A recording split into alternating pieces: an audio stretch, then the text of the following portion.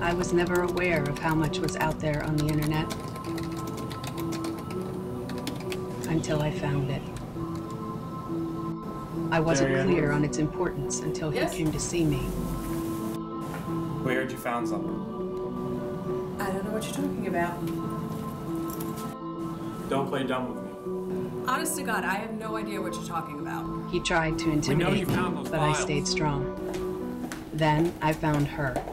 Or rather, she found me. What, what are you doing? They're gonna curse. I can help you. I can have everything you need to know. She provided me with a package with all the information I would need for my escape.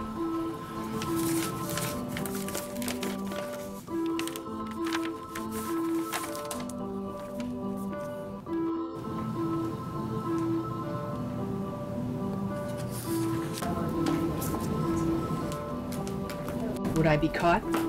I had no idea. What would they do to me? Whoever they were.